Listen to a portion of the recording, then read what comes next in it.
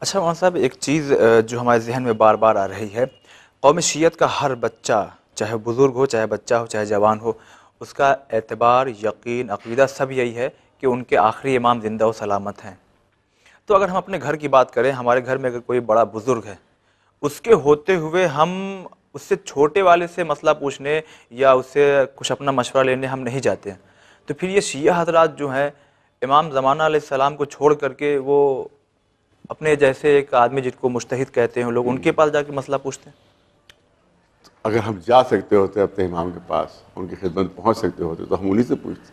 لیکن بہت سے ایسے واقعات سامنے آتے ہیں جن کے ظاہر ہوتا ہے کہ لوگ امام سے جا کے ملتے ہیں۔ نہیں۔ وہ اس کو پتہ ہی نہیں ہوتا کہ ہم امام سے مل رہے ہیں۔ اس کو خبر ہی نہیں ہوتی کہ امام سے مل رہے ہیں۔ اور جو امام سے بہت ملتے بھی ہیں تو ان کو منع ہوتا ہے کہ بتائیں نا کہ ہم امام سے ملے لہذا اگر کوئی دعویٰ دار ہے کہ ہم امام سے جا کے ملے ہیں کل ملاقات ہمیں امام سے ہوئی اور پرسوں بھی ہونے والی ہے تو جھوٹا ہے وہ۔ اچھا۔ اس طرح سے امام سے ملاقات۔ مدد کرتے ہیں امام لیکن جس کی مدد ہوتی ہے اس کو خبر بھی نہیں ہوتی کہ امام نے ہمیں مدد اس کو خبر بھی نہیں ہو پاتی کہ مدد کرنے والا امام ہے۔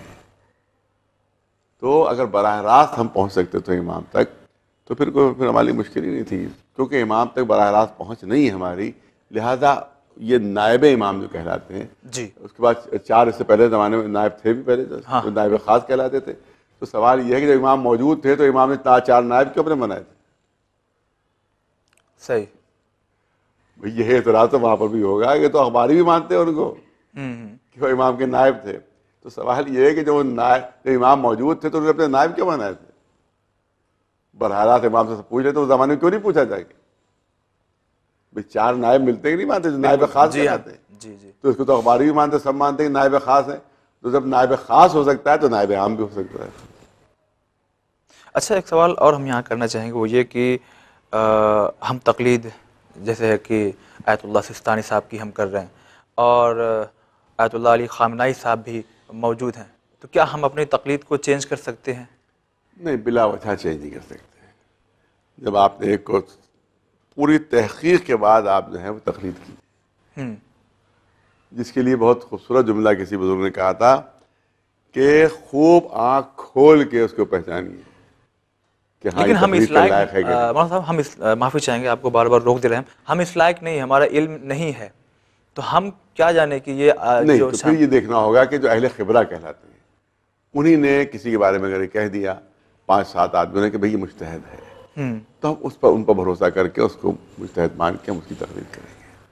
بس ہم جن- پر ہمیں بھروسہ ہے اگر انہوں نے کہہ دیا کہ وہ مجتہد ہے تب ہم مانیں گے ہاں وہ ہے۔ اگر ہم سمجھ نہیں سکتے کہ اجتہاد کیا ہے اس کے علم کی منزل کیا ہے تو ہم دیکھیں گے کہ معتبر لوگوں نے اس کے اجتہاد کی تائید کی کہ نہیں کی۔ صحیح۔ تو اگر صاحب جو معتبر حضرات ہیں جو اہل خبرہ کہلاتے ہیں انہیں نے اگر تائید کر دی کہ ہاں یہ مجتہد ہے ہم ان کو مجتہد مانتے ہیں یہ مجتہد ہیں تو ان کے اوپر بھروسہ کر کے اچھا ابھی آپ نے کہا کہ بلا وجہ ہم تقلید چینج نہیں کر سکتے کیا وجہ ہے؟ جس پہ ہم چینج کر دیں۔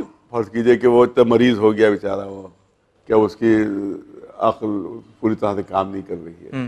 اب ہم اس سے سوال اگر پوچھیں گے تو بیچارہ جواب ہی نہیں دے پائے گا ڈیڑھ سو سال کی عمر ہوگی اس کی۔ صحیح۔ ایک مثال پیش کریں۔ ہاں، ہاں، ایک سو بیس سال کی عمر ہو گئی۔ یا اب عالم مرض میں اس کے اب سمجھ میں نہیں آ رہا اس کی کہ پوچھنے والا پوچھ کیا رہا ہے ہم جواب کیا دیں؟ اب اس وقت اختیار ہے کہ آپ کسی اور طرف کر سکتے ہے اچھا۔ لیکن یہ کہ وہ اپنے صحیح و سالم حالت میں ہے ہمارے جوابات کا وہ صحیح صحیح جواب بھی دے رہا ہے اور خواہ مخواہ ہم اپنے پسند چینج کر دیں تو اس کی اجازت